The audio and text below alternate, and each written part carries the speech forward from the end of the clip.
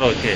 અને પાંચ પાંચ દિવસ લાઇટ ન આવે ખેતીમાં, તો નવું જે ખાતર અને બિયારણનો જે ખર્ચો કર્યો હોય, અને ખેતી કરી હોય, તેવા ખેડૂતોની શું હાલત થાય તે પણ જાણીએ છીએ. અને જ્યારે કાલે નાણામંત્રી કનુભાઈ દેસાઈ હળવદ મામલતદાર કચેરી ખાતે આવ્યા હતા, ત્યારે વાવાઝોડાના સંદર્ભમાં સૌથી મોટો પ્રશ્ન જે હતો તે પીજીવીસીએલ એટલે કે લાઇટનો જ હતો કે લાઇટની જ જે સમસ્યા છે તેની જ મોટા ભાગના પ્રશ્નો હતા.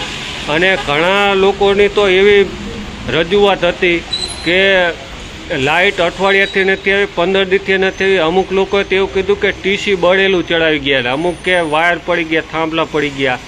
અને ઘણું બધું નુકસાન હોવાના સમાચાર પણ મળ્યા હતા. અને હાલ તો હળવદમાં આપણે આ જો કે વરસાદ હાલ સદંતર બંધ થઈ ગયો છે, છાંટા નથી પડતા અને હળદમાં પણ હવે વાદળછાયું વાતાવરણ છે. આપણે આજે કાળા ડિબંગ વાદળ જોઈએ વાદળો જોઈ રહ્યા છીએ.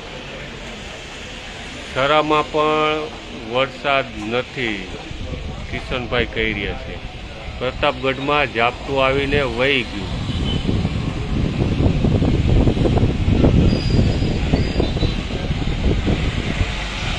સુંદરગઢમાં તડકો છે અને સુંદરગઢમાં તડકો છે.